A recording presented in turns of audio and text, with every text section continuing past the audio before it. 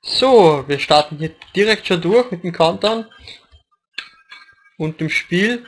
Huch, hier müssen noch fünf Pfeile hin, dass das Spiel seinen rechten Lauf nimmt. Ah, Wiederholung. Jeder ist genau mit einem Bogen ausgestattet und oben auf der Insel liegen fünf Pfeile.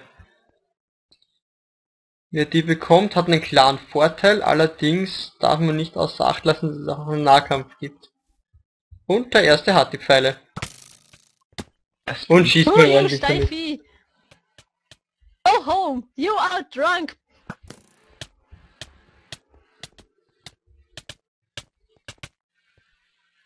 Fick dich! Ah! Da waren es nur noch zwei.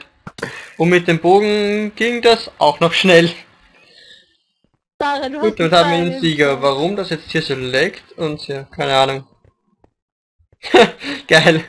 Gut, ein kurzes Spiel. Ein schneller Sieg. Allerdings auch drei Niederlagen. so wie in jedem Free Fall Spiel. Gut.